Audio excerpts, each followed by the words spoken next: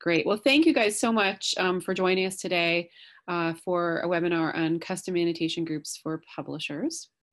A um, little bit of organization about how um, we're going to present today. Um, first, I'll just say a few words about Hypothesis. Um, I'll tell you a little bit about how it works, um, some of the details about integrating it.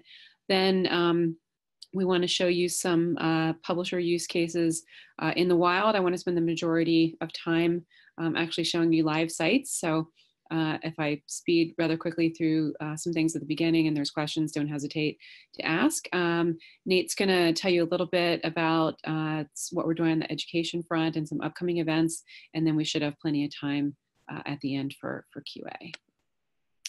So a little bit about Hypothesis. Uh, for those of you who don't know us, we are a mission-driven nonprofit. Um, we're an open source technology company uh, that is working on uh, enabling annotation over all knowledge um, on the web.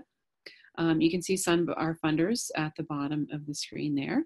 And we're in the process of um, working towards transitioning uh, to an earned income model, uh, both with publishers and uh, with education verticals.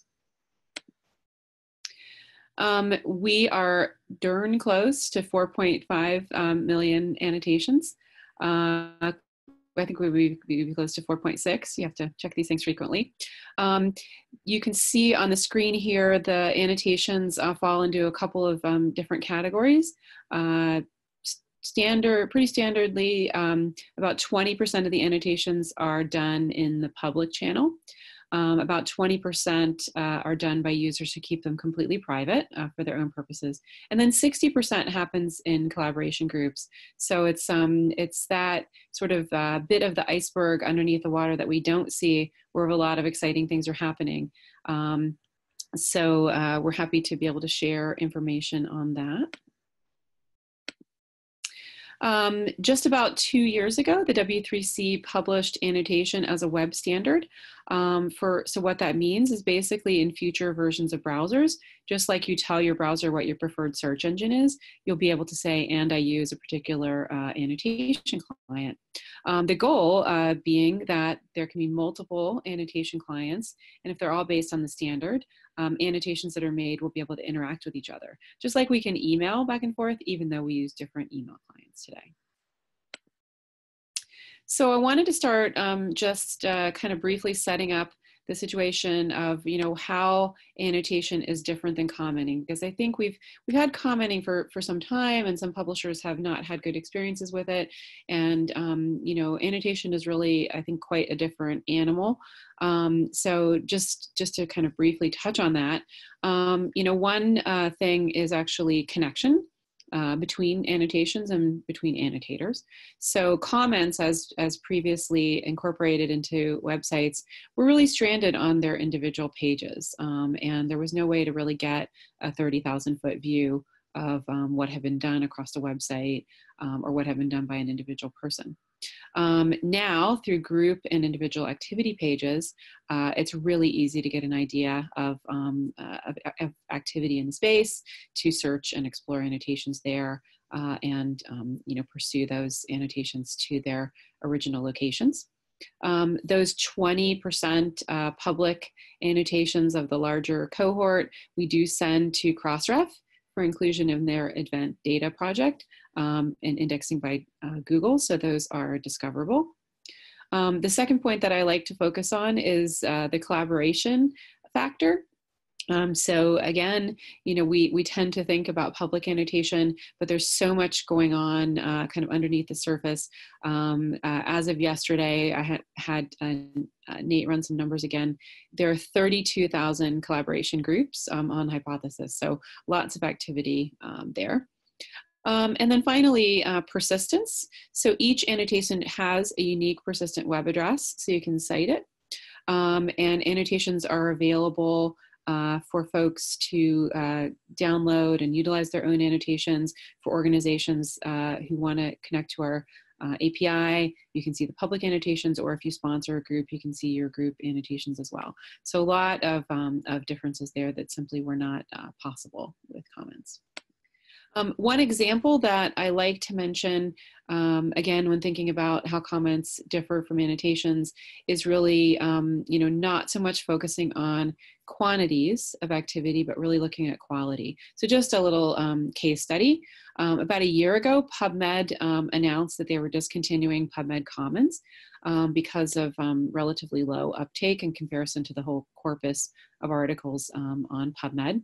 Um, so a number of folks reached out to us uh, via Twitter uh, to see if we could actually rescue these um, comments before they disappeared.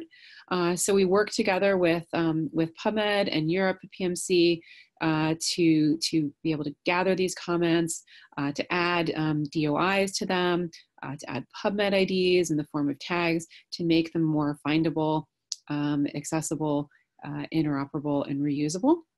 And um, now, uh, if you look at the tag there at the top, PubMed Commons Archive, if you go into Hypothesis and you actually search for that tag, you'll have the entire corpus of um, annotations that will come up.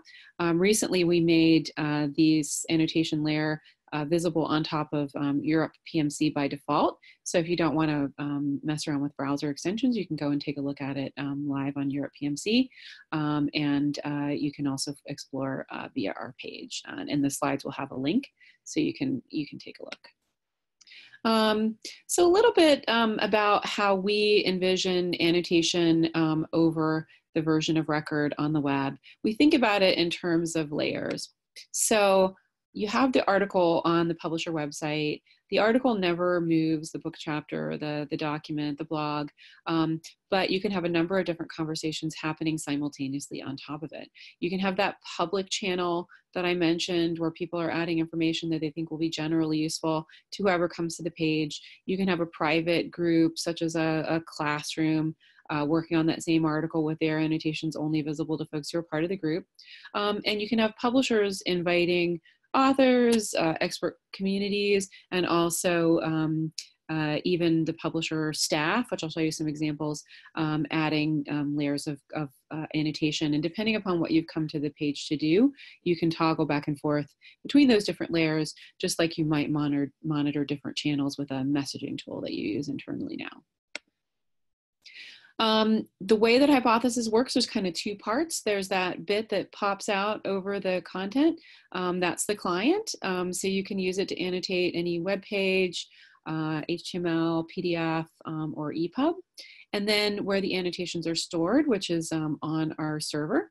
So each time you open up a page, a call will go to the server, say, hey, are there any annotations on this page that this user can see? So that would include public annotations, any uh, annotations that you've made yourself, as well as any groups that you're a part of.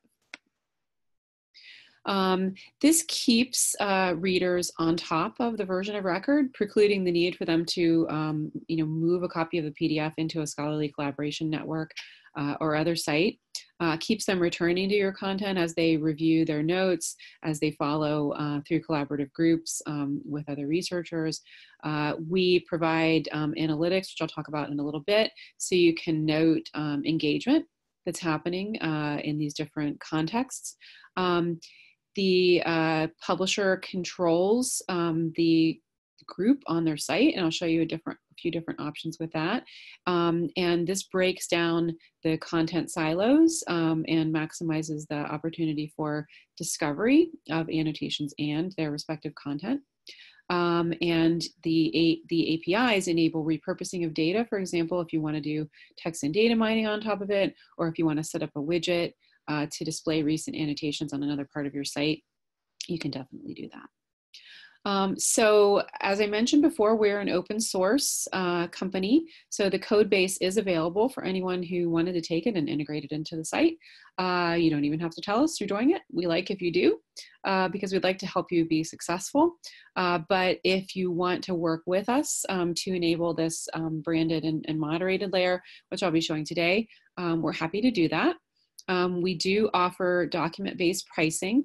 Uh, and the wider you deploy on your site, the cheaper it is on a per document level. We use the number of documents that you add per year as a proxy for publisher size, but you can deploy back to volume one, issue one, or earliest copyright year um, if we're looking at books. And you can certainly start with a smaller pilot, or you can go all in across the entirety of your site.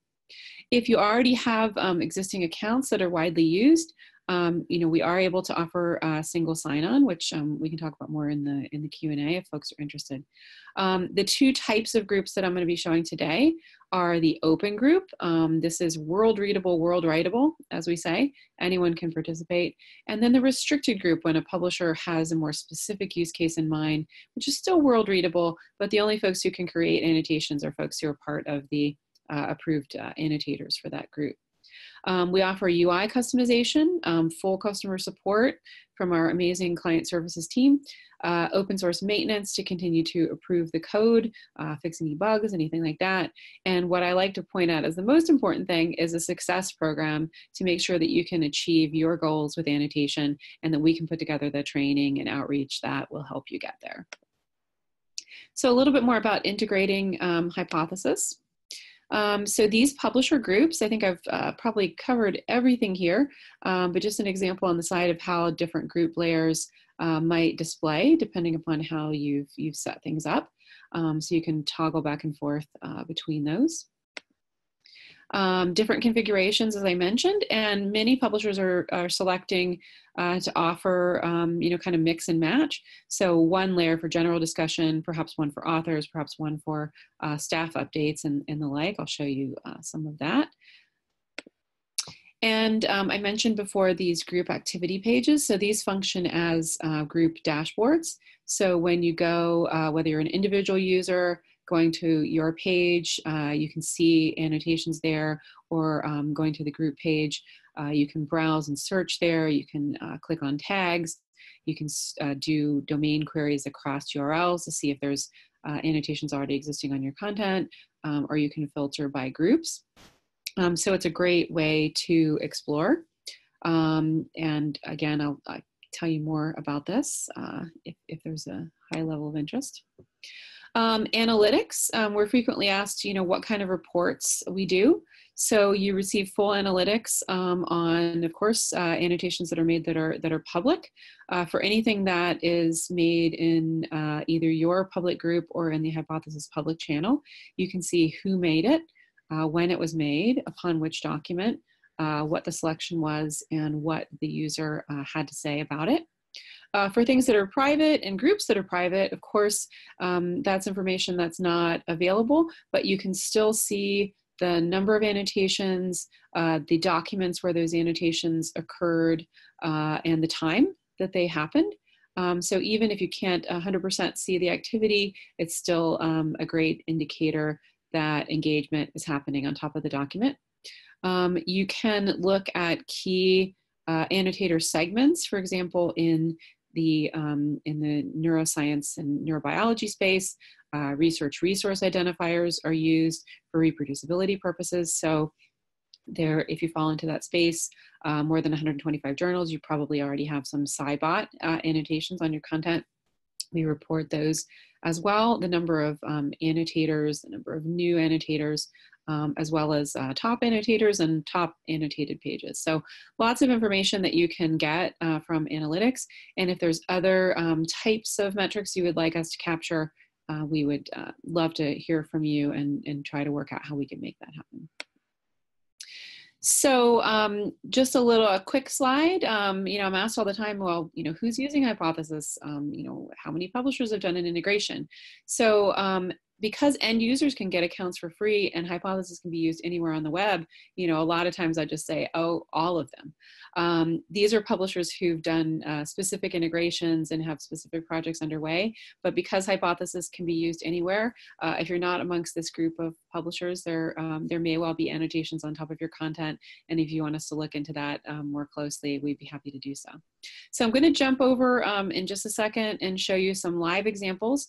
Uh, to do that i need to um, quickly make a trip to my other browser. So I'm going to go out of Fullscreen and hand over to Nate to tell you a little bit about our education space. Hey, thanks, Heather. While, um, while you're doing that, maybe I'll share my screen so I can just show the slides. Super.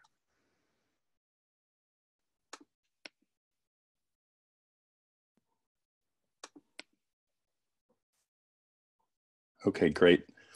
So we noticed um, uh, amongst the folks registering that there might be some folks who are coming from um, higher education or a teaching and learning um, background, interested in hypothesis, and um, you know a lot of what Heather's been talking about has been specific to um, publishers, of course, um, which you know uh, oftentimes colleges and universities are also publishers, right?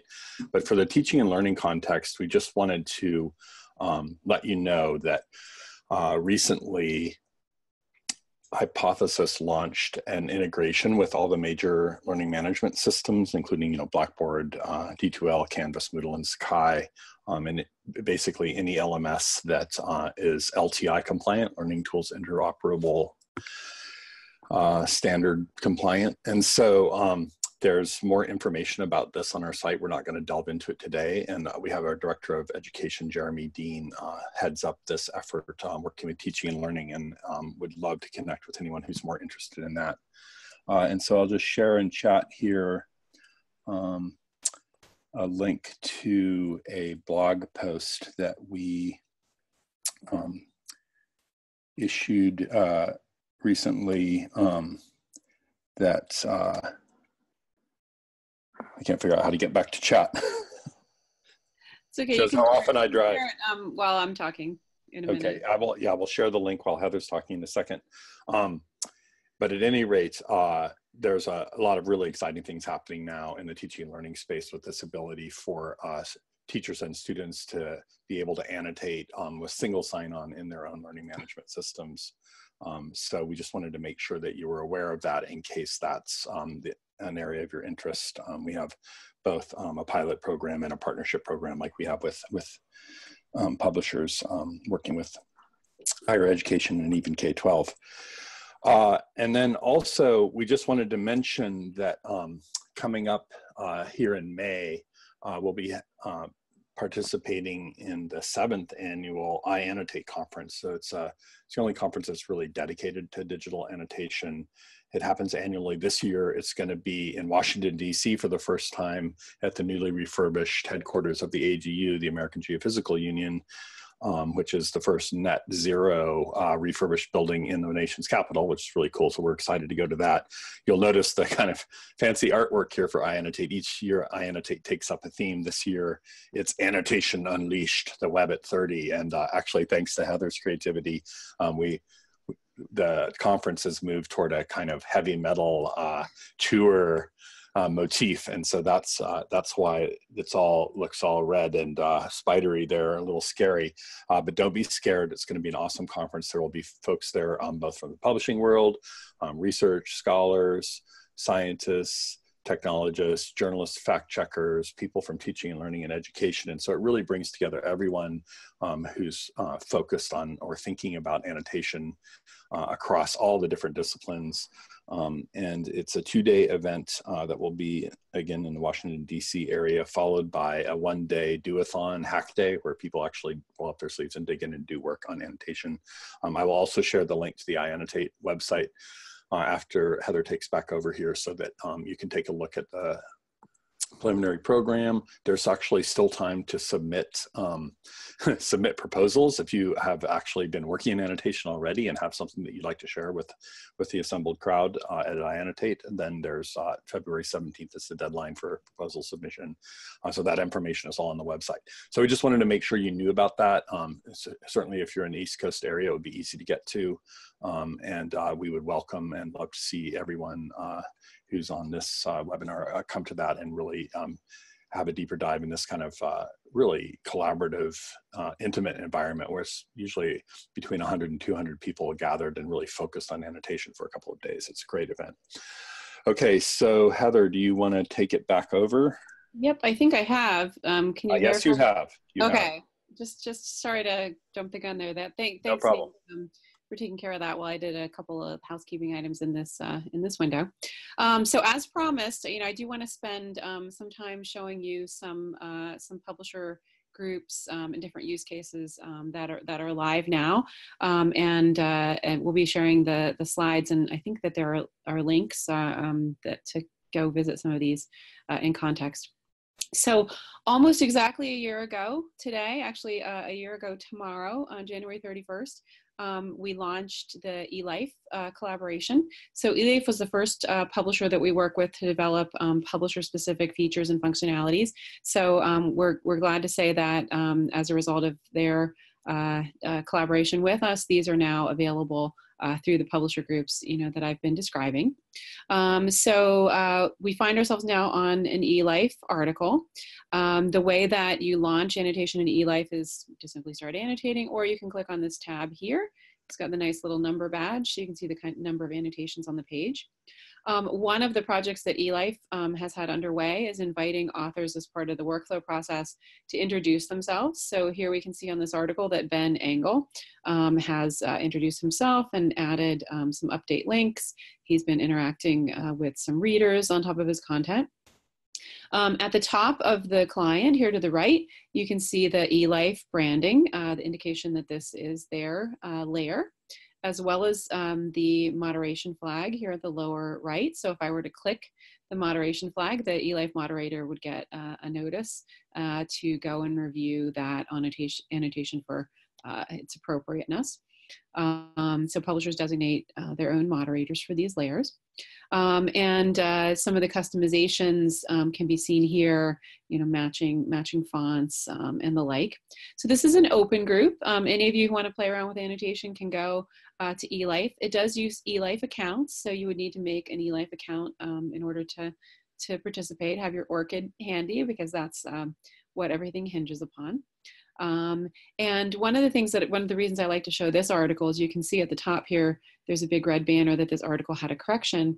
And if we click on the page note, which is an article level annotation, um, you can see details about this particular correction. In this case, a citation was missing and it was added. So um, eLife staff and, and staff at other publishers have found uh, annotation cards to be a useful way, uh, not to replace the regular uh, update uh, flow, but to draw attention of the readers that um, something has changed in the article. So again, this is an, this is an open group. Um, I want to show you another open group. Um, this is through collaboration with American Psychological Association, which launched last fall. Um, and you can see each publisher kind of integrated things a little bit differently. So uh, uh, APA uses a little uh, button here at the top. Um, so if I click on that, it's going to open the uh, APA Publishing Open Group. Um, and in this case, um, one of the projects that APA has done is they looked at their top downloaded articles for 2018 and they invited um, several of the authors uh, who were responsible for them to um, provide some updates. So in this case, um, Russell Warren has done an excellent job um, adding some, some links, some notes. Uh, here's a little video of an interview that um, he recorded, which you can play. Hi, uh, everybody. Uh, right I'm here with Dr. Russell Warren. He is the Associate Professor of um, and just did, did a really uh, amazing job um, utilizing tags and the like. Um, so that might be a use case which might appeal uh, to, to many of you. Um, so these are open groups, but some publishers have really specific use cases in mind when they come to us, where they're not quite sure that they want to open things up um, yet for, for, for, everyone to annotate. So the first, um, uh, what we call restricted group, uh, we put together for American Diabetes Association, and this actually launched in the spring last year. Let me scroll up. So every January, uh, ADA publishes an update to the standards of medical care in diabetes. And they wanted to have a mechanism to uh, add additional information and updates without waiting for the next annual cycle to come around. So we created a group for them that's world readable to anyone who lands on the ADA site but the only folks who can create annotations into this layer um, are the ADA staff. So you can see they've got their account um, is the same name as their, as their group. Um, they really did an amazing job with these um, updates. If I scroll down here, they treated them like true uh, first class research objects. So you can see the date that the annotation was originally published, the date it was approved by their uh, publications uh, committee, a suggested citation, and some tags. And I, and I do like to you know highlight again that you can cite uh, these annotations because they do have a unique persistent uh, identifier. Um, so if we go to the ADA group activity page, I mentioned these um, dashboards and activity pages before. These are all of the updates that um, ADA actually included on this issue last year. So you can go in and you can um, see what these uh, updates uh, consisted of. You can use the little um, view annotation in context to go to the article and be scrolled down right to the annotation. You can share out annotations. Uh, you could search uh, this. Um, and they've also included these helpful tags. So if I just want to see updates that um, are uh, referring to hypoglycemia, I can click on that. It's going to add my filter at the top. And again, um, uh, these are these are great ways to to find content. They've got internal links, external links. They've added some tables and charts. Uh, really did a nice job. Another example of a restricted uh, group is a project that we did um, Cambridge University Press together with Syracuse University's qualitative data repository. Thus the little QDRs here at the top and the little logo that they've got. And um, this is a project called Annotation for Transparent Inquiry. And it's designed to bring context to citations in the social sciences in the same way that um, citations have become more transparent uh, in, the, in the hard sciences. So um, in, in each case, if I click on, a, on an annotation card, um, you can see that this particular uh, annotation is tied to this sentence, uh, but it gives the author the ability to add a lot of additional information about methodology, about sources, um, additional links, um, connections to the to the data, uh, translations that they would not have been able to fit into the article for space limitations on the print side and for maybe um, uh, some limitations on the electronic side as well. So um, this is a project that is uh, includes about six other publishers in addition to Cambridge. Um, we're in the process now of making these annotations visible on um, those other publisher sites. Uh, again, like the uh, like the page, the group page that I mentioned over uh, ADA, you can click on the group activity page and see all of the articles across Cambridge um, that are part of this project and explore them and share them and the like. Um, a lot of the publishers that we talk to are interested in what annotation can do in regards to peer review. Um, this is an interdisciplinary journal called Murmurations. It's hosted on the PKP uh, iteration of uh, OJS. Um, and what they've done here is they've created a restricted group for each article. Uh, includes the authors, the journal editor, and the reviewers. Uh, and they work in a completely open uh, peer review process. If we scroll down a little bit, you can see an interaction here between uh, Linda Van de who's the editor, um, and the author Chantal uh, Beebe. Um, if the public wants to add annotations, um, they can't do it in this group, but they can hop over to the Hypothesis public channel and do so there. So it's a great example of utilizing uh, peer review, uh, annotation and peer review. Another project around peer review, um, and I don't have any screenshots of this, I do apologize, some should be coming soon, um, is a project that uh, Biomed Central did in collaboration with a company called Research Square. Um, four of the BMC journals offer this um, as an option, and uh, I'm told that more are coming soon. So when an author submits a manuscript uh, to one of these journals, they're offered the opportunity to opt into what's called in review. Um, so in review is uh, something that is designed to bring more transparency to peer review. So in parallel with the traditional peer review, uh, if I scroll down here, you can see uh, community feedback is welcomed through use of the hypothesis uh, tool. Um, and uh, the interest from authors in opting into this project has been uh, really, really high. And we're working together with Biomed Central and Research Square to kind of give um, you know, kind of jumpstart uh, suggestions and best practices uh, to get going with this with this tool. So this is this is in review. And then I want to show you um, our latest publisher uh, to launch, um, which is the American Society for Plant Biologists. I'm really, really excited about this collaboration here. And again, um, in, the, in the area of peer review, um, ASPB had uh, in the plant cell been publishing uh, what they call peer review reports. But these peer review reports were being published as supplemental material. They really weren't getting a lot of attention folks didn't re- realize they were there. The, the click through rate was, was relatively low. So they wanted um, to utilize uh, hypothesis to draw attention to these peer review reports. So here um, we've had um, one of the staff members from ASPB who's added um, an annotation here that this article has a peer review report. It doesn't change the existing workflow, doesn't require moving, but if I click on that peer review report, you see it will take me to uh, the PDF, and, and there's a lot of information about the peer review. So we're hoping that this will dramatically increase the visibility um, around these peer review reports that they've done. Um, just like uh, the other uh, examples that I showed you, um, they have their uh, activity page. So you can see how many um, links they've gone ahead and added uh, about peer review reports. Um, so all of the peer review reports can be discovered um, and explored uh, from here. Um, and because they're using hypothesis for some other purposes, um, they're using peer review report as one tag. Uh, but one of the other projects that they're interested in looking at is um, drawing attention to activities that happen on their blog. Like so many society publishers, they have a content site uh, and a member site, you know, and perhaps even, you know, you might even have more than that. And how do you bridge these sites together? Well, with one annotation um, group, you can scope it to multiple websites.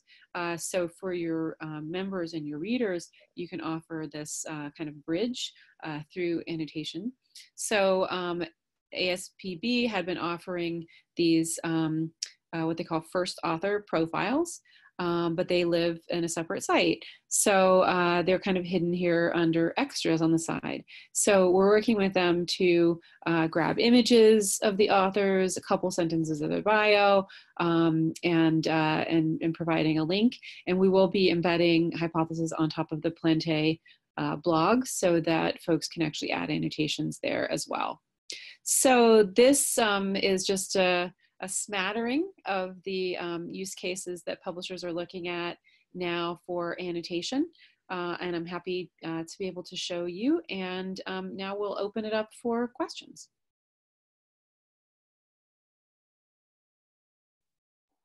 Hey, Heather, that was great.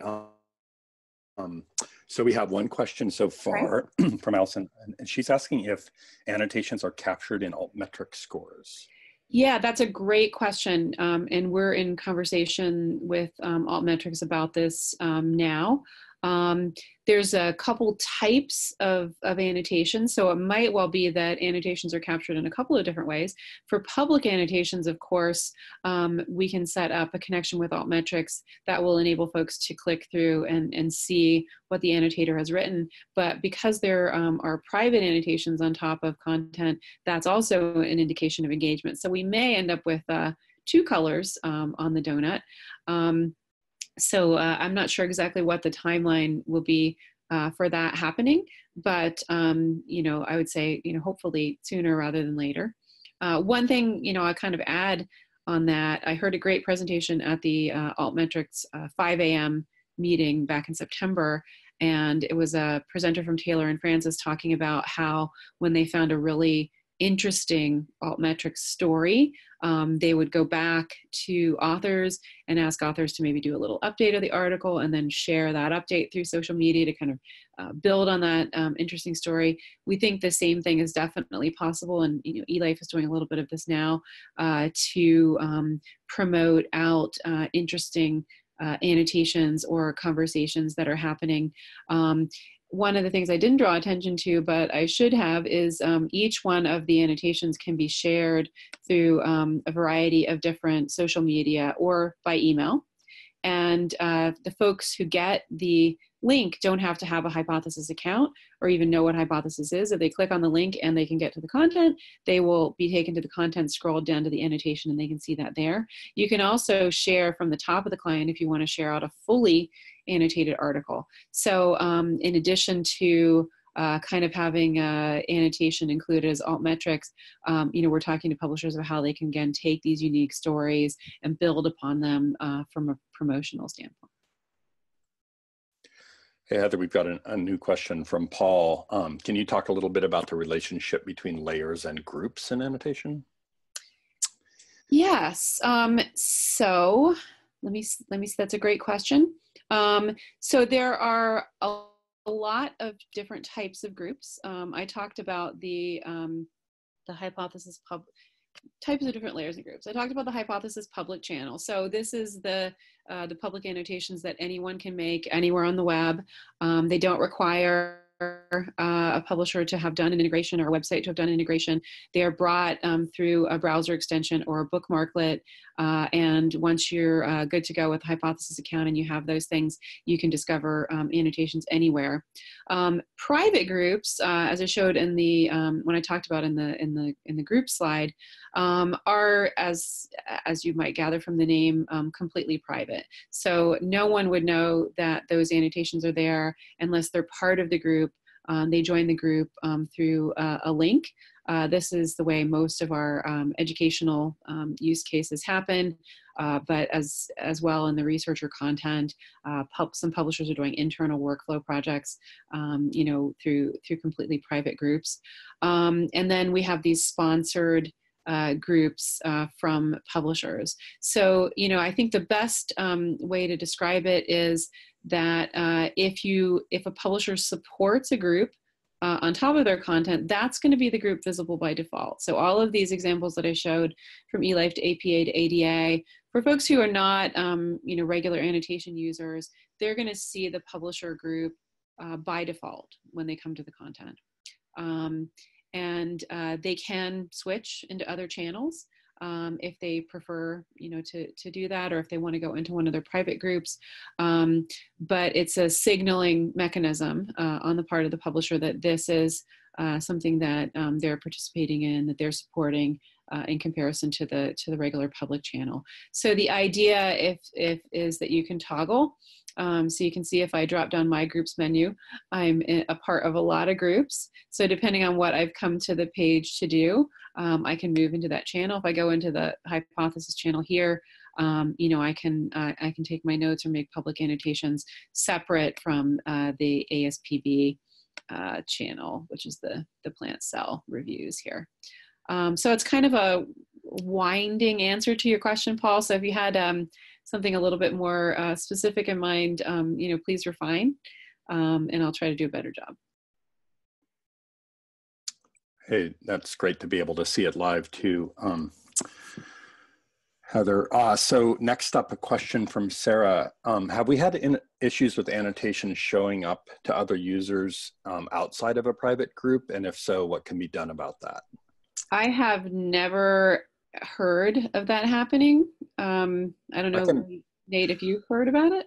Well, I, I, can think of one example. So um, in, in some of the teaching and learning examples that we had before we had the LMS integration deployed, um, you know, it was really up to each individual user to make sure that they were annotating in the group or layer that they wanted to or that they were supposed to. So for mm-hmm. example, in a lot of like college or university classes, the instructor would ask students to annotate in a private group.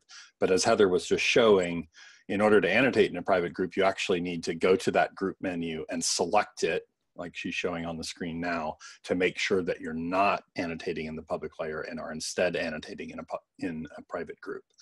And so most of the cases we've seen where somebody has sort of accidentally annotated in the wrong layer or group um, have come from that, just sort of not realizing that you had to switch mm -hmm. to that group and make those annotations there.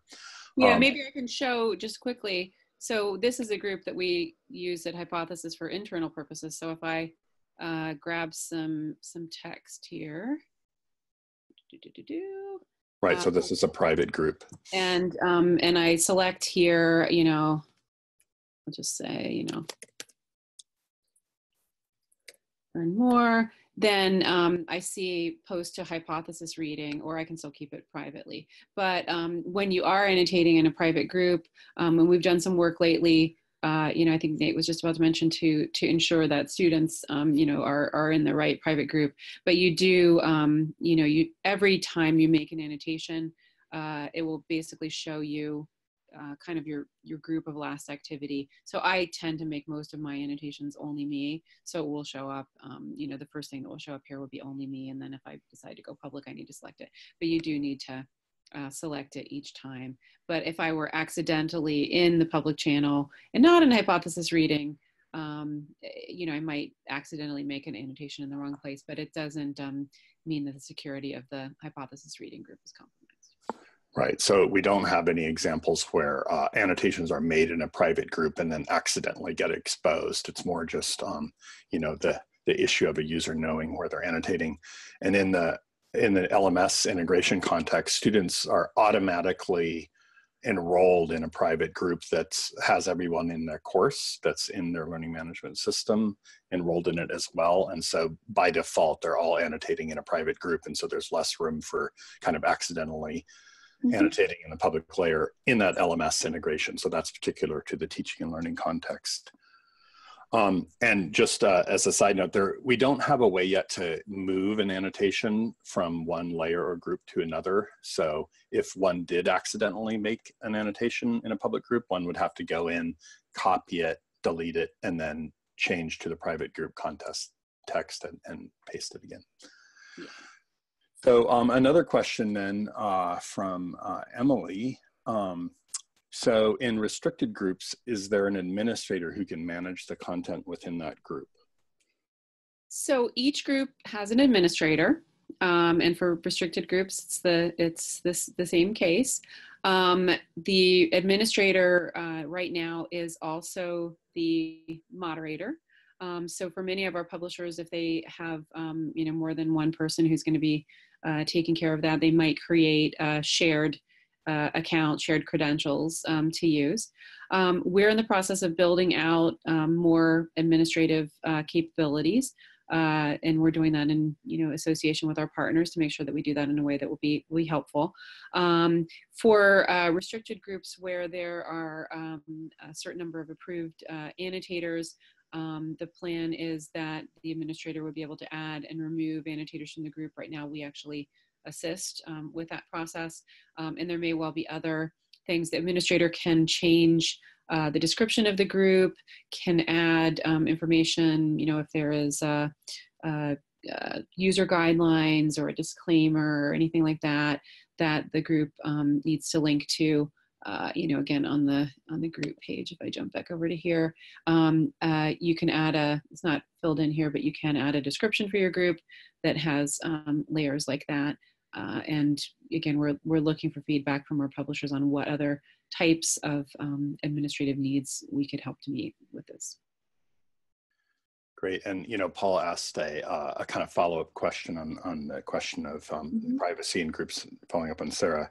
And so, um, you know, really kind of further exploring this idea of whether a member of a private group can share an annotation out with non, non-group members. And so all the annotations within the private group, even that whole layer, the layer that the private group is attached to, so all the annotations that it contain are really only visible to the people inside that group.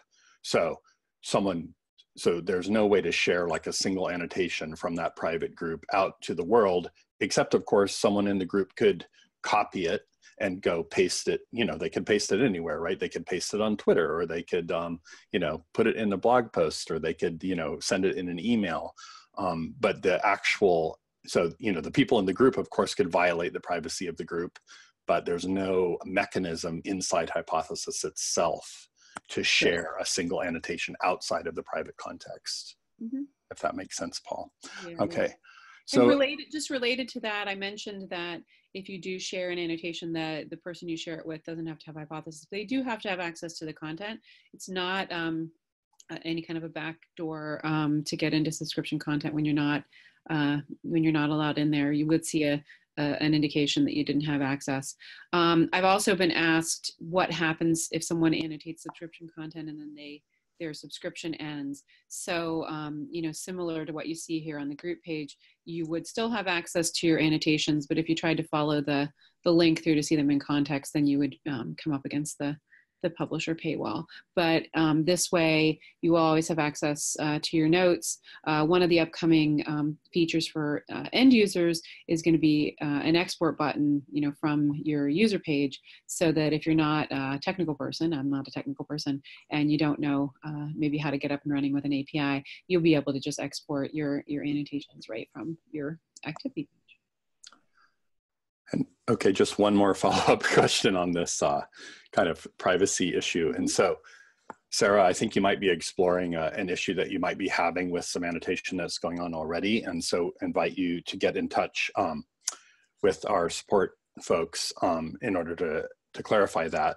Um, so you can visit our website. I'll put a link in in just a second and click on the help button, or uh, you can email support at hypothesis, and I'll put that email in too. But just in short, the most common reason that we see uh, folks not being able to see annotations inside a private group context like that when they believe that they should be able to be seen by the other group members is because they have accidentally posted their annotation as only me. And I think Heather was just kind of showing that. So even within a private group context, you can make annotations that are private only to yourself. So it's like two layers of privacy deep, right? Um, so you're you're making an annotation in a private group, but then you're also indicating that that annotation, as Heather's showing here, is going to be private only to you. And so if a if someone in a private group does accidentally make a private annotation in a private group, they can go back later and toggle that um, annotation to be uh, shared with the group as opposed to private only to them. Uh, so there is that ability to um, kind of toggle between it being fully private and shared with the group uh, with just uh, as Heather demonstrated there on screen. So I, I, I, the little um, the little lock shows that that's an only me um, rather than public. So. So I hope that helps, Sarah. That's the really usually the most common reason why an annotation can't be seen when one expects it to be seen is that that only me thing. And you can go back and edit it. Just open it up again, toggle it to the group as as as Nate mentioned. If you're completely in a different group, you do need to copy it. But if you just need to set it from only me to um, group visibility, you can do that just in the little drop down.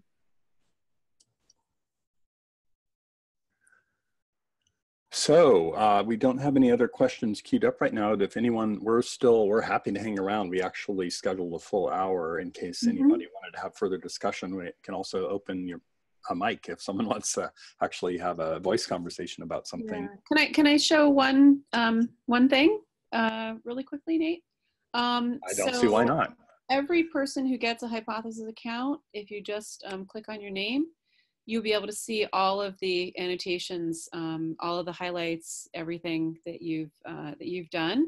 Uh, this is my page, so I see my my public, my private, and my groups. Uh, so you can see some of the, the, the one that I did here, um, the two that I did in the, uh, on top of the plant cell um, are visible here. Um, I can also filter on my tags. So I do a lot of reading about space. So if I can filter by my space tag, um, I can see all of my articles about uh, black holes and uh, Chinese uh, moon landings, as well as all my sub tags. Um, I can search my annotations uh, as well. And if I get rid of um, the filters, including my own uh, name, we have access to, you have access then to all of the public annotations made anywhere in the world. So you can see um, what's been happening. Uh, it's not uncommon to come in here. I don't see today and see annotations in Chinese, Japanese, uh, Arabic, you know, French, Russian, Spanish, um, you know, and you can search. So if I just want to see uh, things that have to do with uh, education, um, I can I can pop that in. Now it's not a full text search. It will search the metadata for the article, um, the selection that somebody uh, highlighted, as well as anything they wrote about it. Uh, so you can see here somebody's um, doing a project on uh, Marbury versus Madison. If I find an interesting uh, annotator, I can click on their name and see uh, what else they may have annotated. So just a, just a couple of things uh, here. Um, but it's a great way, as I mentioned, to kind of get an idea of what is happening uh, in the space. And these are the ones that are fed out to Crossref event data. So.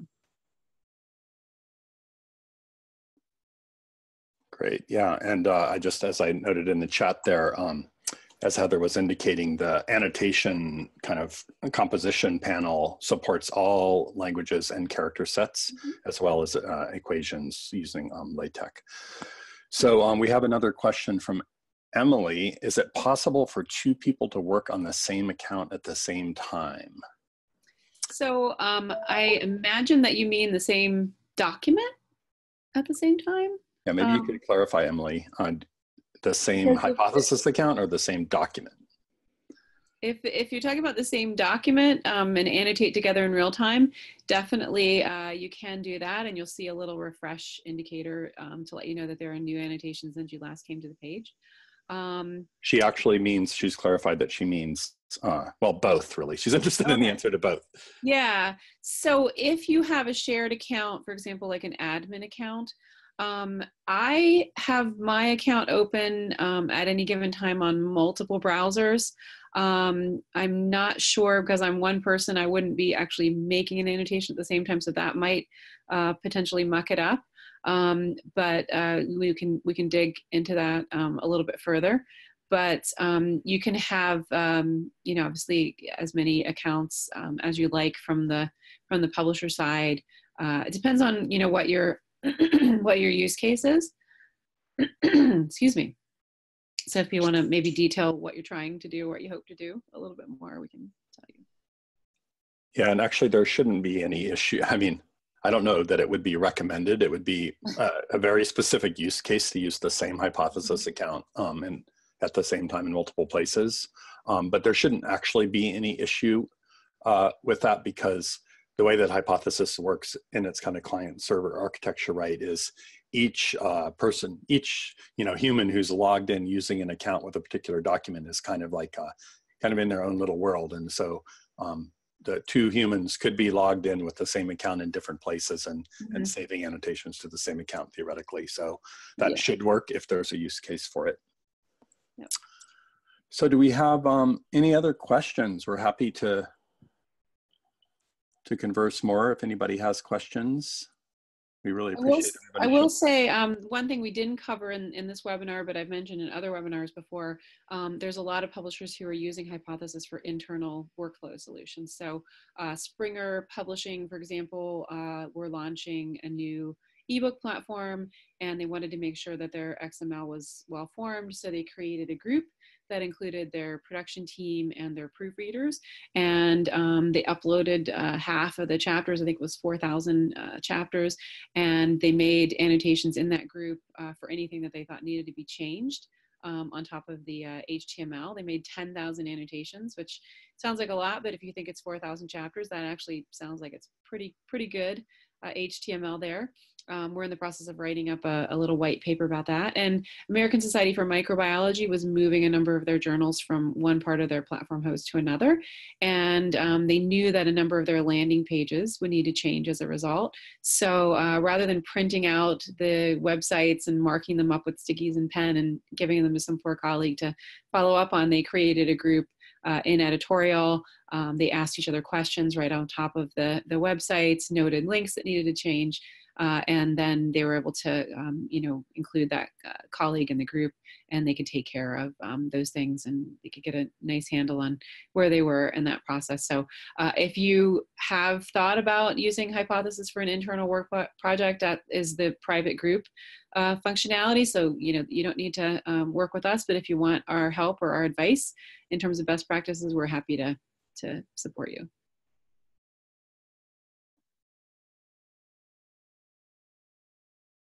Uh, one more follow up with Emily. Is there is there an update um, when when there's an update to the hypothesis uh, extension or plugin or client, uh, like a technical update?